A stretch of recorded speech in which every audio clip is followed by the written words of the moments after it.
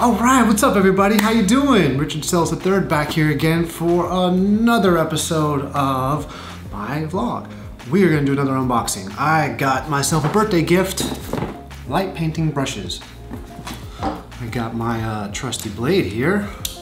There we go, sticker. Here's. One, two, three, the blade back. And let's see what we got in here. We have uh, a white fiber optic, Nice. These all attached to flashlights.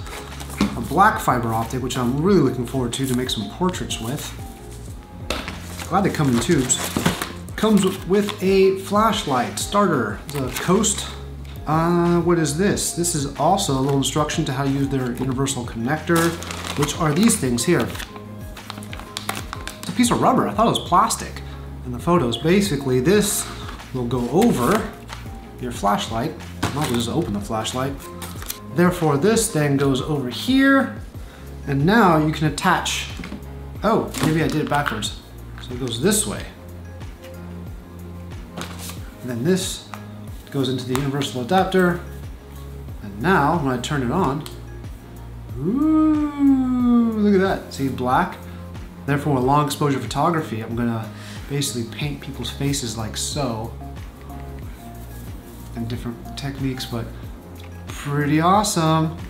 You can stick some gels uh, inside of here to change colors. All right, these are all handmade too in America. And then I have three of these universal connectors. I got a package of, they call them light writers.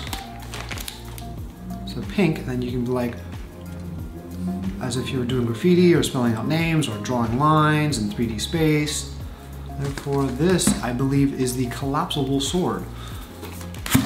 Yes, it is. Basically, a lightsaber. Everyone needs a lightsaber once in a while. And you could choose different colors if you like. Uh, it comes in all these colors in a lightsaber, but I figure I'll get white because then I can put any gel filter in here and it'll be any color I want to be as opposed to predetermined.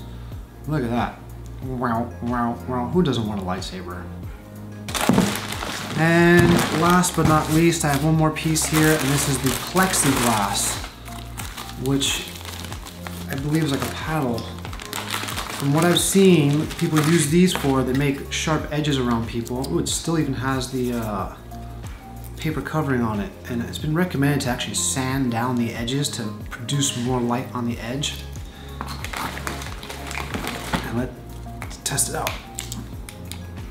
Right now it's a little dull, as you can see. You only get one edge here, but the sides are not so much.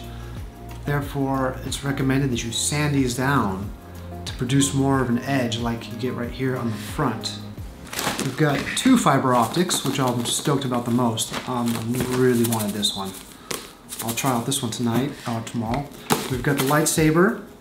We've got a flashlight with three universal connectors, a pack of light writers, and my plexiglass. And that is the deluxe kit from Light Painting Brushes. All right, thank you for watching. I hope you enjoyed this video. If you did, be sure to hit that like button. Also, be sure to leave me a comment. And if you haven't already, please subscribe. And I will see you next time. What? Good old grumpy coffee. Great for the mornings.